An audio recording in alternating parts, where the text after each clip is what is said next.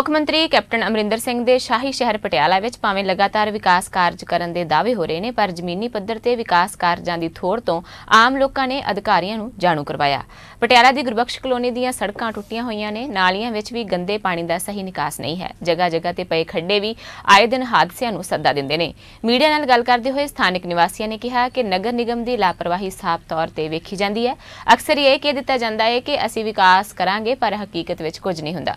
ਉੱਥੇ ਪਟਿਆਲਾ ਨਗਰ ਨਿਗਮ ਮੇਅਰ ਸੰਜੀਵ ਸ਼ਰਮਾ ਬਿੱਟੂ ਨੇ ਕਿਹਾ ਕਿ ਜੋ ਗ੍ਰਾਂਟਾਂ ਆਉਂਦੀਆਂ ਨੇ, ਨਾਲ ਦੀ ਨਾਲ ਹੀ ਵਿਕਾਸ ਕਾਰਜਾਂ ਤੇ ਲਗਾਈਆਂ ਜਾਂਦੀਆਂ ਨੇ। ਸਮੱਸਿਆਵਾਂ ਜਿਹੜੀਆਂ ਜਾਂ ਵਿਕਾਸ ਹੈ, ਇੱਕ ਰੂਟੀਨ ਦੀ ਪ੍ਰਕਿਰਿਆ ਹੈ। ਠੀਕ ਹੈ ਜੀ?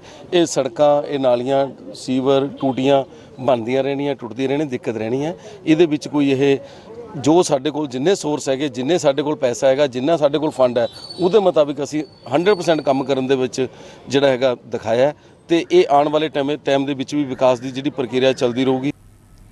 ਪਾਰਕ ਪਲਾਜ਼ਾ ਲੁਧਿਆਣਾ ਵਿੱਚ ਵੈਡਿੰਗ ਏਸ਼ੀਆ ਦੀ ਪ੍ਰਦਰਸ਼ਨੀ ਦਾ ਆਯੋਜਨ ਕੀਤਾ ਗਿਆ। ਇਸ ਪ੍ਰਦਰਸ਼ਨੀ ਵਿੱਚ ਵੱਖ-ਵੱਖ ਡਿਜ਼ਾਈਨਾਂ ਦੀ ਜਿਊਲਰੀ ਸੂਟ, ਲਹਿੰਗੇ ਆਦਿ ਦਿਖਾਏ ਗਏ, ਜਿਸ ਵਿੱਚ ਗਾਹਕਾਂ ਦੀ ਪਹਿਲੀ ਪਸੰਦ ਖੁਰਾਣਾ ਜਿਊਲਰੀ ਬਣੀ, ਜਿੱਥੇ ਗਾਹਕਾਂ ਨੇ ਖੁਰਾਣਾ ਜਿਊਲਰੀ ਦੀ ਖੂਬ ਖਰੀਦਦਾਰੀ ਕੀਤੀ। ਇਸ ਮੌਕੇ ਅਮੀਸ਼ ਖੁਰਾਣਾ ਨੇ ਕਿਹਾ ਕਿ ਉਹਨਾਂ ਦੀ ਜਿਊਲਰੀ 27 ਅਵਾਰਡ ਹਾਸਲ ਕਰ ਚੁੱਕੀ ਹੈ।